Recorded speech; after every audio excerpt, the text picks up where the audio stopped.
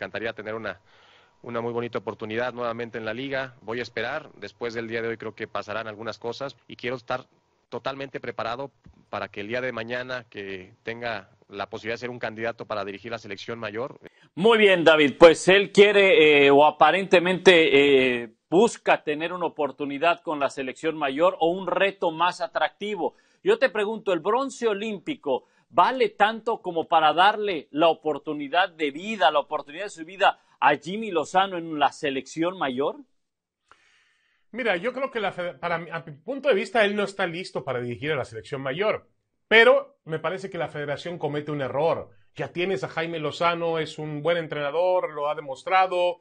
Bueno, déjalo ahí, mándalo, págale un viaje a Europa para que esté cerca de los entrenamientos de los grandes equipos europeos, dale contactos para que pueda hacerlo y cuando llegue el día de la eliminatoria, el 2 de septiembre, ponlo en la banca con el Tata Martino para que aprenda y así vas preparando a futuro un relevo hasta natural, Pablo. Tu entrenador de selección olímpica se convierte en entrenador de selección mayor. Hoy no está listo Lozano, pero sí está listo para que la federación le dé, le otorgue o lo encamine para que algún día tome esa posición.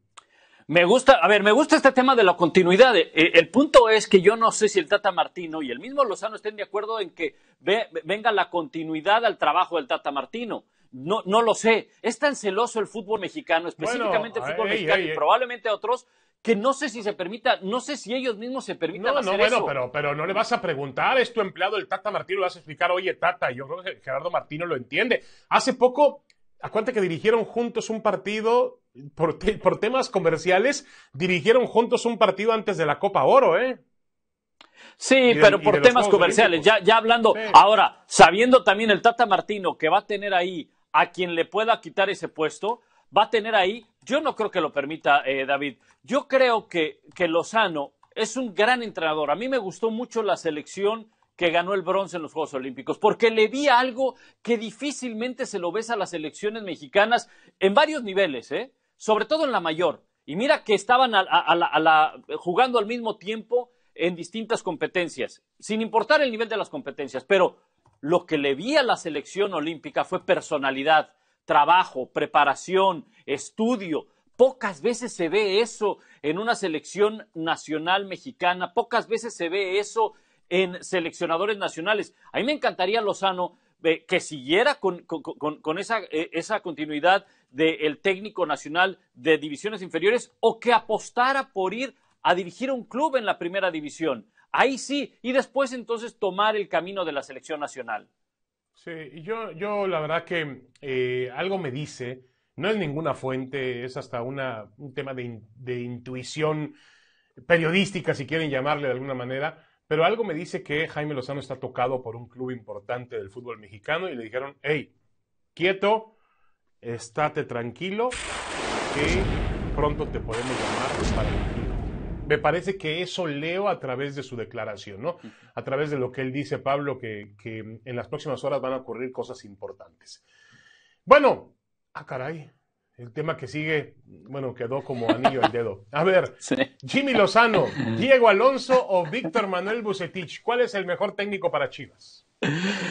Mira, a mí me, eh, una de las cosas que no me gusta del fútbol mexicano, que son muchas, ¿verdad? Eh, es este constante carrusel de, directores técnicos, ¿no? El constante carrusel.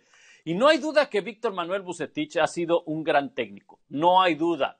Ha logrado levantar equipos que estaban en el sótano, los ha convertido en contendientes y los ha hecho campeones. Pero no salimos del mismo carrusel y del mismo círculo de técnicos. Diego Alonso podría tener otra oportunidad, lo hizo bien en Pachuca, lo intentó con Rayados, algunos títulos de CONCACAF y nada más, ¿verdad? Pero si hablamos de alguien que hizo bien las cosas, que le cambió y le puso personalidad a una selección y que ahora podría tener un reto más importante dirigir en la primera división, a mí me encantaría Jimmy Lozano y me encantaría con un equipo que tiene presión como es Chivas, que semana a semana está obligado a ganar, obligado a tener triunfos, obligado a cada campaña a dar buenos resultados. Y son los retos que, que debe enfrentar un técnico mexicano, no caer en este mismo círculo de técnicos donde ya sabemos, eh, David, hasta los discursos, ya los conocemos.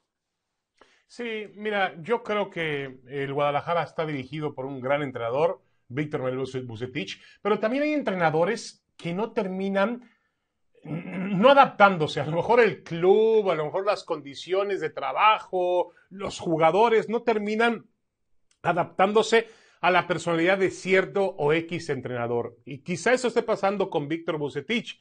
La realidad es que sigue sufriendo para encontrar un nivel con este equipo de las Chivas. Y queda la idea de que Jaime Lozano hizo funcionar a tope por lo menos a dos jugadores de Guadalajara, como son Alexis Vega y Uriel Antuna. No es lo mismo dirigir una selección mexicana que dirigir a las Chivas, ¿eh? Yo creo que es más complejo dirigir al Guadalajara. Tienes menos universo de jugadores, tienes menos opciones, tienes más presión, tienes una presión todas las semanas. La selección mexicana, pues ¿cuál es su presión? La CONCACAF, ganar la CONCACAF. Esa es realmente su presión.